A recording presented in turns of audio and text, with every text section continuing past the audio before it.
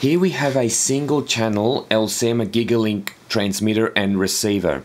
And in this video, I'm going to demonstrate the various modes in the receiver. The three modes that I will demonstrate is called momentary mode, flip-flop mode, and delayed off mode. There are many other modes, so refer to the user manual.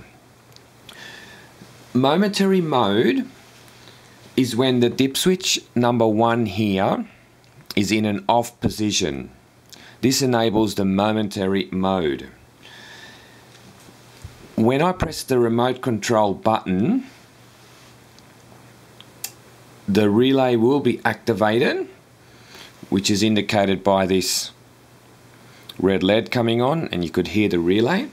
When I release the button, the relay goes off. So it really only stays on for a moment that the button is pressed.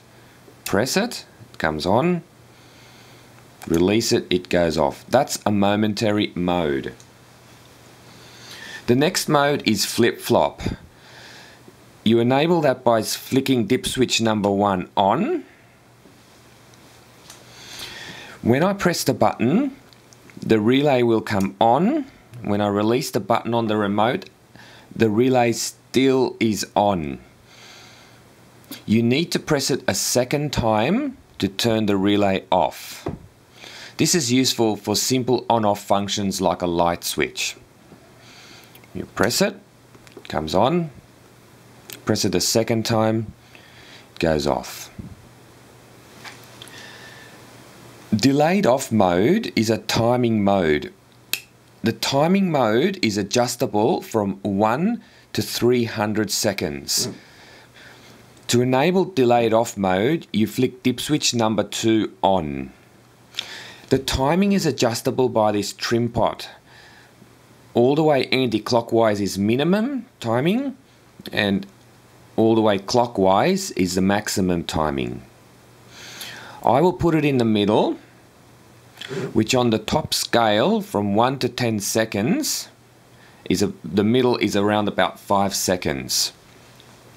When I press the remote button, the relay will come on and will stay on for about 5 seconds.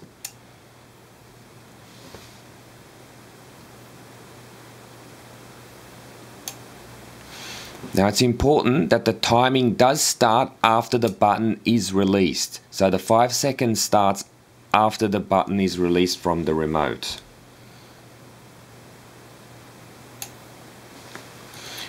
There's also a test mode. Flick dip switch number 4 on will activate the relay. Flick it off, switch it off. So you can test your relay and whatever device you are switching. Custom modes can be programmed into the receiver. Contact Elsema for a custom mode.